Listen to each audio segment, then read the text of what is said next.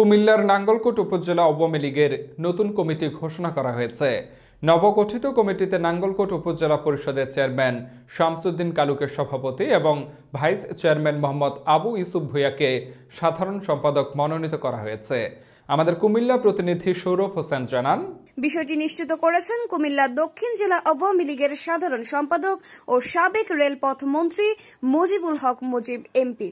এইদিকে নতুন কমিটি ঘোষণার পর তাৎক্ষণিক উৎসব মুখর আয়োজনের মাধ্যমে নতুন কমিটির সভাপতি ও সাধারণ সম্পাদককে সংবর্ধনা প্রদান করেন উপজেলা আওয়ামী লীগ অঙ্গ ও সহযোগী সংগঠনের নেতাকর্মীগণ।